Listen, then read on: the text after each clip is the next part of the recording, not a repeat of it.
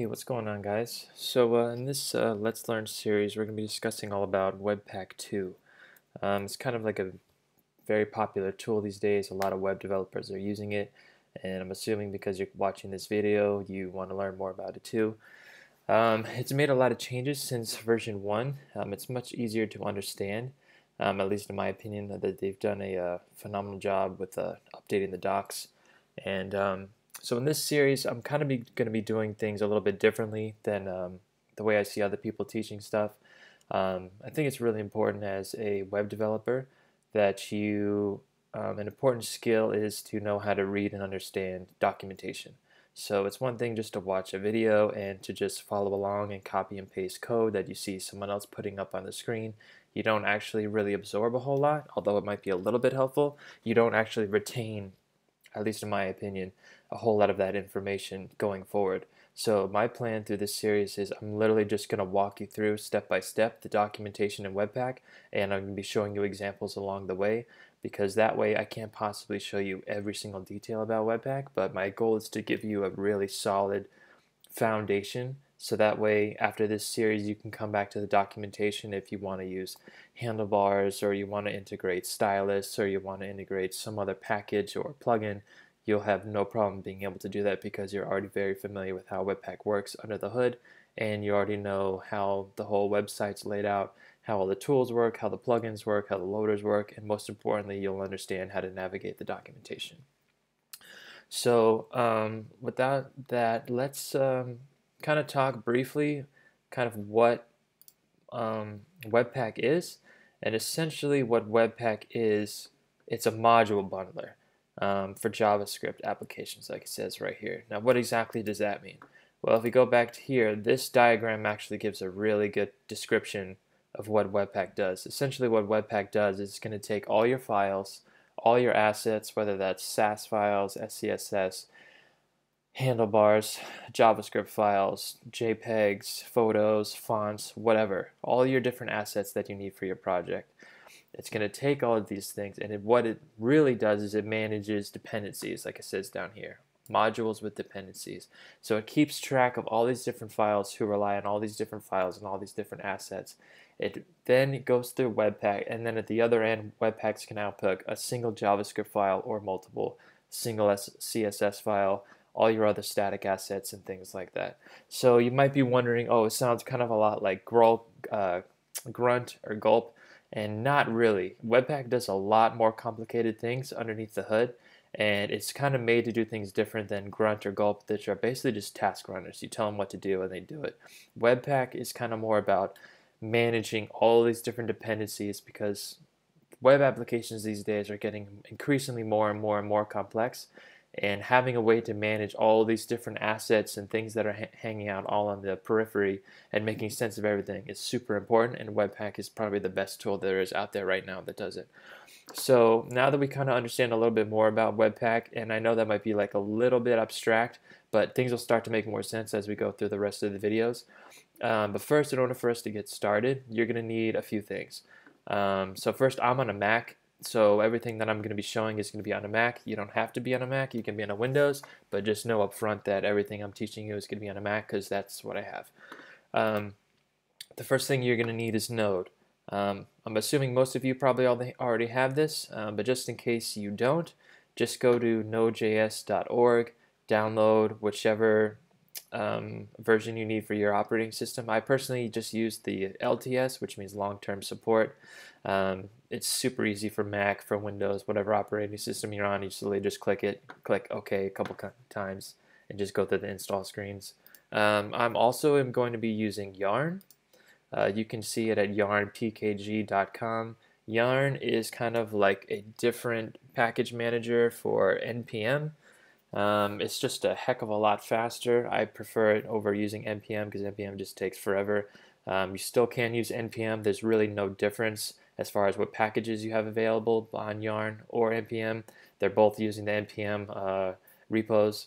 So if you want to use NPM, go for it. I'm going to be using Yarn. And then if you, in order to install Yarn, if you don't have it, the, probably the best way to do it if you're on a Mac is to use Homebrew. Um, if you don't have Homebrew, you can just click on Homebrew Package Manager. That brings you here. Homebrew is essentially a package manager for the Mac. So if you're familiar with Linux and you've ever used like Ubuntu, you do apt-get package name. It's the same thing with Macs. You can install programs and libraries and files that you need um, through the command line. So those are the tools you're going to need.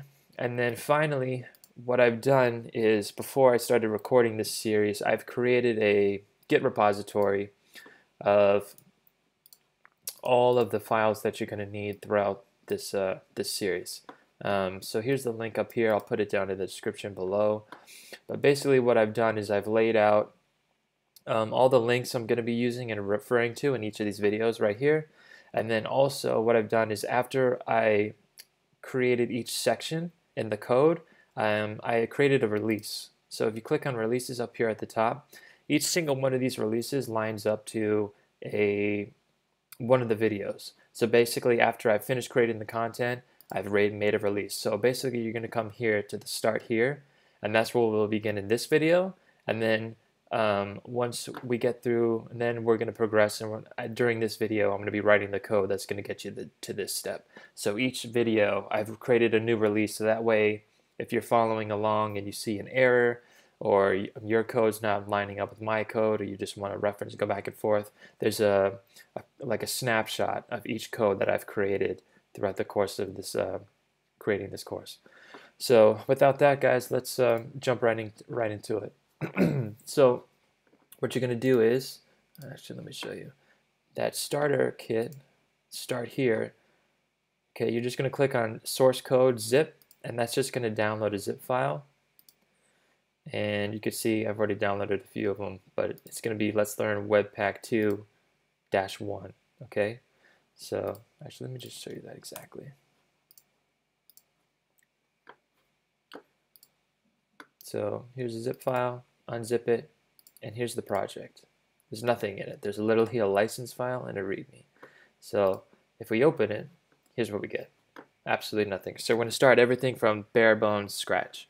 So we're going to open up our terminal and let's navigate to this project. So a little shortcut if you're on your Mac, if you just put cd and then you drag the folder over, it'll automatically autofill the location. So now that we're in this project, the first thing we're going to need to do is we need to create a package.json file. Um, the reason why is we're going to be installing a bunch of packages from npm and this is going to allow us to do that. So in order to create one from scratch, we can just do npm init. Now you can just hit enter here and then you'll go through a whole bunch of different prompts, but if you want to shortcut it, you can just put dash y and then it'll just create everything and fill it in for you. So let's just check that out real quick. Um, you can put your name in here if you want, doesn't really matter. License, just put MIT. Again, none of this really matters. It's just you need this in order to start installing stuff from NPM.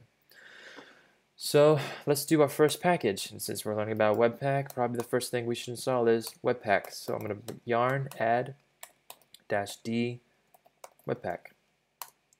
Now, yarn add is the same thing as doing like npm install, but the dash d is going to save it to my dependencies. So normally if you do an npm, you could do npm install dash dash save dash dev. The dash capital D is essentially the same thing. It's just a shortcut. So now if I look at my package.json dev dependencies, I've got a Webpack 3.5.5. So the first thing we're going to need to do is let's create a folder in here. Let's create a folder called source. And then let's create another folder called dist. So the source file is where we're going to create our source code. The dist file is where it's going to end up once we're done. So source file, let's put in index.js, blank file. Dist file, let's create an index.html. Okay, so we've got our source file folder, an index.js, we've got a dist folder with an index.html. There's nothing inside either one of them. Okay, so first for uh, index.html, let's just create a simple HTML layout. So web Okay, if you're wondering how I did that, I'm using a plugin called Emmet, and it'll just kind of autofill some things. It gives you some shortcuts, like if you wanted to create a div, like with a container class, it'll just kind of automatically do stuff. So super handy, definitely worth checking out. Um, okay, so let's see. So basically what we want to do is we want to create a bundle of our index.js and we want to use Webpack to do that. So inside our um, index.js, sorry, um, I'm just going to put a simple console log i from Webpack. Okay, now this could be anything you want. I'm just using this for demonstration purposes. So in order to start utilizing Webpack, we're going to need a Webpack config. Now this is where people get tripped up. These things look crazy confusing at first, but I'm going to walk you through step by step, and it's actually not that bad. It can seem a little overwhelming at first, but I'm going to walk you through line by line, and things are going to really start to make sense.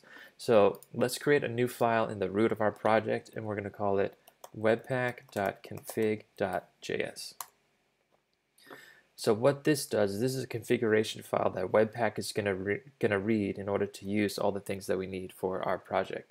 So the first thing we're going to need to do is we're going to create, we're going to use this path variable. This comes from Node. This is not from uh, Webpack. This is just going to help uh, Webpack to know where our uh, files are located. So the first thing is we're going to do module.exports. Okay, we're going to export an object. First thing is an entry and the entry is source index.js. Now this is the entry point for Webpack. What this means is this is the this is the main file that Webpack is going to look for. So all of our application and everything is going to come through this entry point, this index.js, which is just this simple console.log statement. Okay, so that's our entry point, and then it would make sense we need an output point output is basically once, so our source code is going to be in this entry point.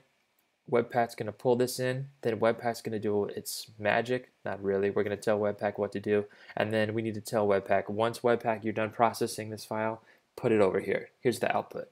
So first we need a file name. So this is going to be the name of the file once we're done. We're going to call it bundle.js. You can call it anything you want, but that's kind of like the standard. So path is the location to where you want this to come. So now we're going to use path, which is our variable. We just declared up here. This is part of Node again. This is not Webpack. I'm going to do resolve dir name dist. So basically what this is saying, here's my entry point, here's the main file, Webpack when you're done, you're going to rename the file to bundle.js, and here's where you're going to output it into the dist folder here. So it's going to be it's going to show up next to our uh, index.html. Now within our index.html we need to reference this file so we can just do script uh, source bundle.js. Okay, so now once we run Webpack, Webpack's going to bundle it together. It's going to stick it inside this dist folder, and now this index.js file is going to have access to it. So let's check it out, see if what we get. So let's just do, oh, I forgot one thing. We're going to use a quick um, script in order to run Webpack. So in your package.json, you can create scripts. So we're going to call this one um, build, and then we're just going to put in Webpack. So now when we can, um, within our terminal, we can do yarn run build and that's going to run Webpack for us.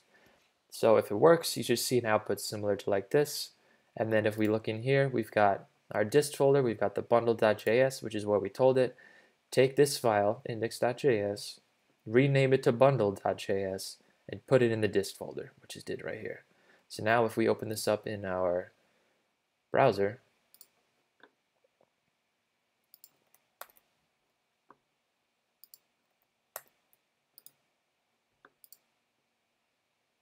It says hi from Webpack.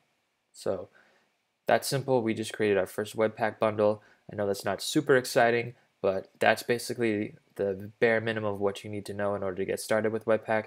Now, that might still seem a little bit abstract. You're not even really sure what's going on, especially if you look at what's inside this bundle.js. There's a whole bunch of code in here that we did not add, and this is the only code that we actually wrote. There's a whole bunch of other stuff going on in here. So as we go through the series, things are going to start to make more sense, and we'll start adding in loaders, how to deal with uh, Sass, how to PostCSS, and all kinds of different kinds of stuff. So um, see you in the next one, guys.